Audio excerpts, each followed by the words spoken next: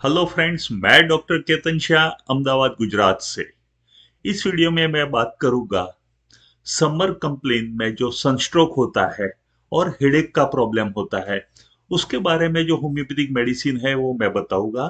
ये part two है।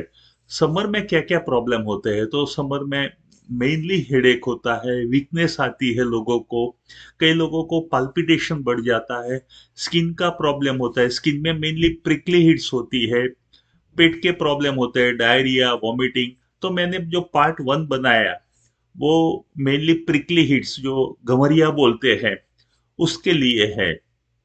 आज हम इस वीडियो में बात करेंगे कि हेडेक बहुत लोगों को प्रॉब्लम होता है कि समर आता है, जैसे ही धूप में जाते हैं हेडेक शुरू हो जाता है। उसके लिए मैं कुछ मेडिसिन बताऊँगा और ये मेडिसिन जिसको भी हेडेक है तो जो सिम्टम्स मैच होता है उसकी थर्टी पोटेंसी में तीन तीन गोली तीन बार लेनी है। और अब मैं दवाइयाँ बता रहा हूँ, और बता रहा हूँ कि उसके क्या सिम्टम्स है। तो हम शुरू करते हैं ये वीडियो मैंने पहले ही बताया कि ये समर पार्ट टू है। पहला पार्ट है वो वीकनेस प्रिकली हिट्स के बारे में है। तो सनलाइट से क्या आपको हेडेक होता है? तो जिसको भी हेडेक होता है और या वीकनेस आती है, उसके लिए वीडियो बहुत यूजफुल है। तो मेनली क्या होता है? गर्मी की वजह से या तो बॉडी में एक्सट्रीम चेंज ऑफ़ टेम्परेचर होने की वजह से प्रोलोंग सन में एक्सपोज होने की वजह, लंबे टाइम तक आप धूप में रहते हो और उसकी वजह से डिहाइड्रेशन होता है सिर दर्द होता है। तो सनस्ट्रोक के अलग अलग सिम्टम्स है। तो रेड स्किन उसका मेन सिम्टम्स है स्किन पे रेडनेस आ जाती है पाल्पिटेशन बढ़ जाते हैं। कुछ लोगों को पेट की तकलीफ़ में वॉमिटिंग होता है वीकनेस आती है, हाथ पद में धुजारी आती है और हेडेक होता है। तो हम हेडेक की दवाइयों की बात करें तो सबसे पहले दवाई रहती है natrum carb natrum carb patient यही बोलता है कि, बस अब समर आया तो मैं गया। तो chronic effect of the sunstroke जब भी उसको सनस्ट्रोक लगता है तो उसके बॉडी में मेनली दो चेंजेज आते हैं। एक तो हेडेक आता है और वीकनेस आ जाती है। फ़िज़िकल एंड मेंटल वीकनेस तो कुछ भी वो सोच नहीं सकता है। मतलब पढ़ाई नहीं कर पाता है, सोच नहीं करता है। कुछ भी करने जाएगा तो उसको एक तो हेडेक शुरू हो जाएगा। तो समर में, और आपको पता है कि हमारे देश में समर बहुत होता है और समर में ही एग्ज़ाम्स बोर्ड की एग्ज़ाम वगैरह भी आती है तो जैसे ही वो पढ़ने जाएगा फ़िज़िकल और मेंटल कोई भी स्ट्रेन लेगा, उसको थकान ले जाएगी। लीस्ट एफर्ट्स मेंटल और फ़िज़िकल और उसको हेडेक शुरू हो जाएगा।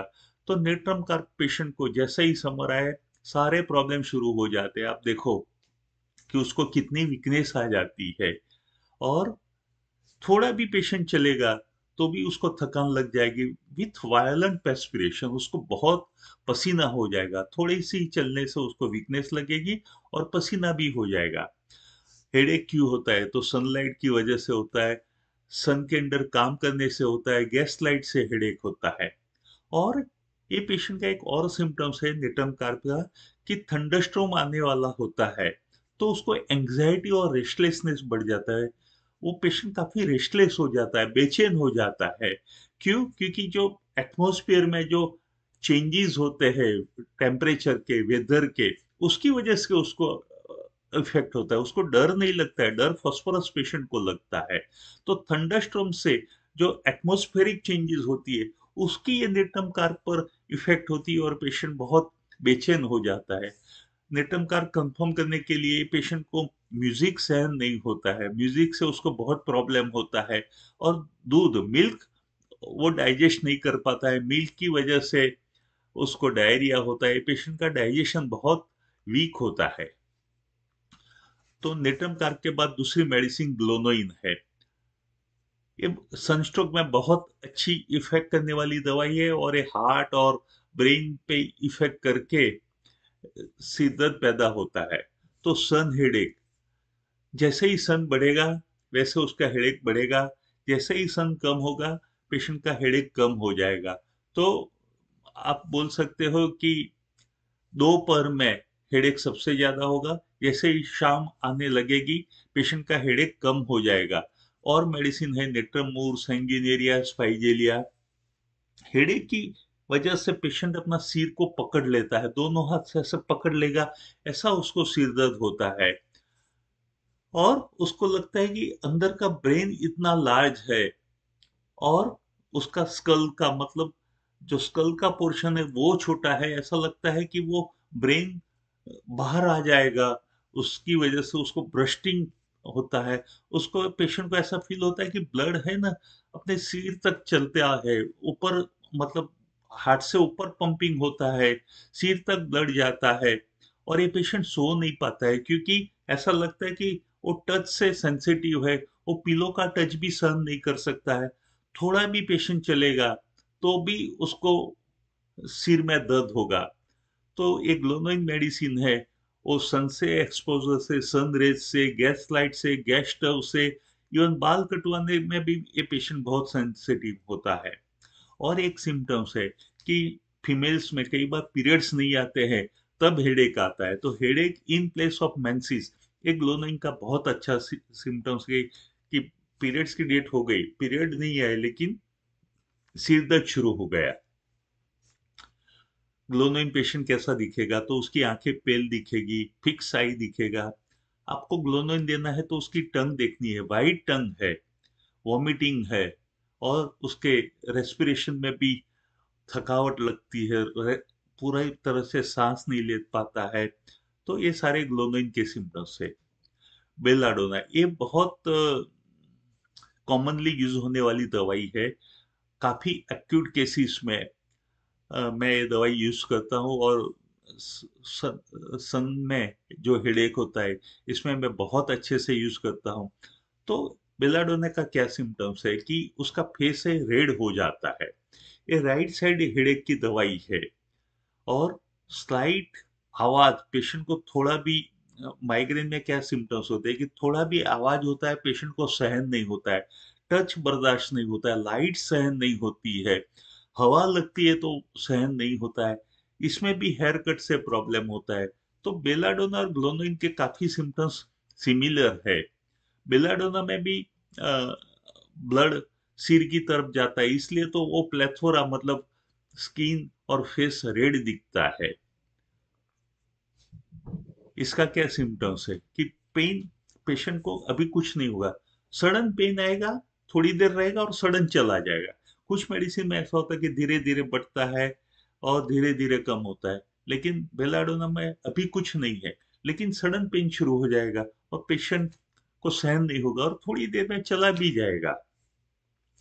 और इसमें मैंने बताया उस तरह से कंजेशन है मतलब ब्लड फेस की ओर, सिर की ओर जाता है, इसलिए फेस उसका रेड दिखता है। ये पेशेंट को प्यास नहीं लगती है।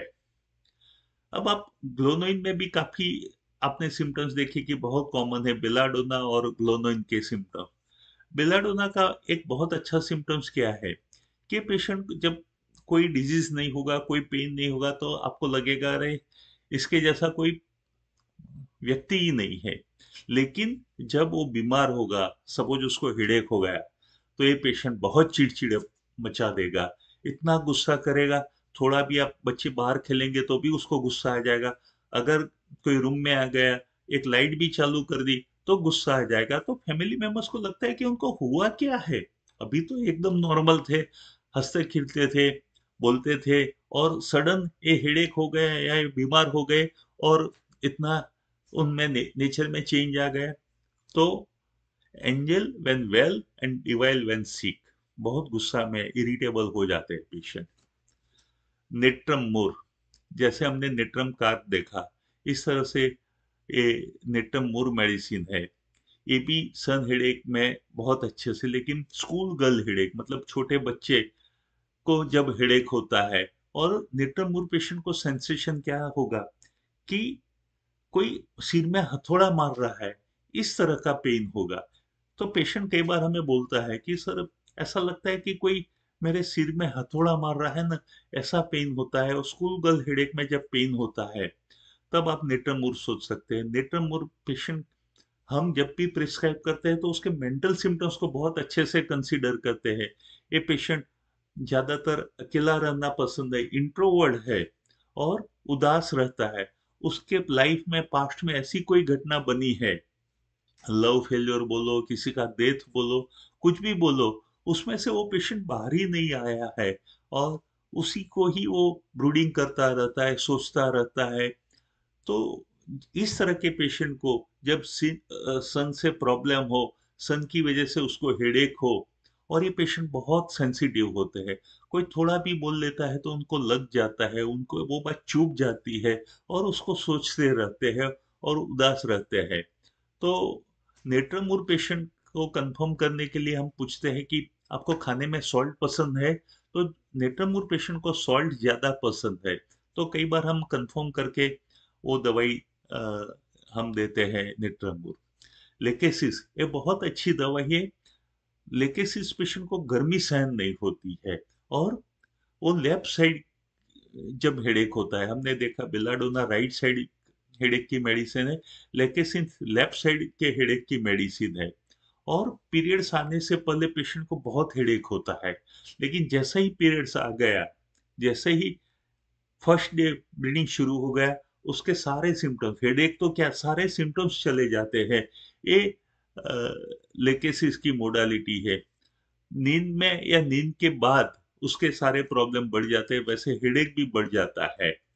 और ये पेशेंट कैसा होता है? तो बहुत टॉकेटिव पेशेंट होता है, लेकिन साथ में सस्पिशियस भी पेशेंट है। तो बातें करना भी अच्छा लगता है सेक्सुअली भी ज़्यादा लेकेसिस पेशेंट है, और उसको टाइट कपड़े पसंद नहीं है। अगर कपड़े टाइट होगा तो उसको सहन नहीं होगा तो वो कपड़े लूज रखेगा। वो बार बार अपने कपड़े ऐसा लूज रहे, अपनी बॉडी को टच नहीं करे, कहीं टाइट फील नहीं करे, ऐसा वो रखता है। और ये मेडिसिन में ज़्यादातर मेनोपोज में जो प्रॉब्लम होते हैं, उसमें बहुत अच्छे से यूज़ करता हूँ। तो मेनोपोजल हेडेक में भी बहुत और हॉट फ्लशिश की भी ये बहुत अच्छी दवाई है। लेकिन ये पेशेंट बहुत टॉकेटिव होता है सस्पिशियस होता है और बदले की भावना वाला और ऐसे बहुत उसके मेंटल सिम्टम्स को हम कंसिडर करके दवाई देते हैं। लास्ट मेडिसिन मैं डिस्क्राइब करने जा रहा हूँ, वो है एंटम क्रूड तो कई बार क्या होता है कि पेट की तकलीफ़ भी हो और सन हेडेक हो। गर्मी में भी प्रॉब्लम होता है और कई बार पेट के प्रॉब्लम की वजह से भी प्रॉब्लम होता है। उसमें मैं एंटम क्रूड दवाई सोचता हूँ। तो aggravation from radiant heat like stove stove के नज़दीक काम करने से ओपन फायर की नज़दीक रहने से हीटर वगैरह से या सन वगैरह से जो हेडेक होता है, उसमें मैं एंटम क्रूड अच्छे से यूज़ करता हूँ। एंटम क्रूड देने के लिए मैं पूछ पेशेंट की टंग कंफर्म करता हूँ तो एंटम क्रूड पेशेंट की टंग है ना, वो वाइट कोटेड होती है। और और भी रीजन है हेडेक के कि रिवर बाथ कर, में मतलब नदी में स्नान करने से, या कुछ ठंडा ले लेने से, या अल्कोहल पीने के बाद जो हेडेक होता है, उसमें एंटम क्रूड बहुत अच्छे से काम करती है। और ये पेशेंट को पेट के प्रॉब्लम रहते हैं तो पेट की वजह से हेडेक हो कई बार डायरिया रहता है कई बार कॉन्स्टिपेशन रहती है। ये पेशेंट को भी आ, कोई ना कोई दुख रहा है लाइफ में इसलिए पेशेंट अकेला रहना पसंद करता है। और बॉडी में कॉन्स आपको पता है कि प्रेशर की वजह से जो कपासी बोलते हैं कौन हो जाते हैं या स्किन ठीक हो जाती है उसमें एंटम क्रूड बहुत अच्छे से यूज़ होती है। इसको पिकल्स वगैरह ज़्यादा पसंद होते हैं एंटम क्रूड पेशेंट को। तो ये सारी बा, बातें हुई आ, जो सन की वजह से हेडेक के प्रॉब्लम होता है उसके लिए मैंने मैं फिर से बता रहा हूँ पोटेंसी की थर्टी पोटेंसी में तीन तीन गोली तीन बार लेना है। जब भी हेडेक ठीक हो जाए वो दवाई बंद कर देना है और धूप में जाने से अपने आप को प्रोटेक्ट कीजिए पानी ज़्यादा पीजिए। ओल्ड एज और बच्चों वगैरह को धूप में नहीं जाने की सलाह होती है तो ये सारी बातें हमने डिस्कस किया है सनस्ट्रोक और हेडेक के बारे में।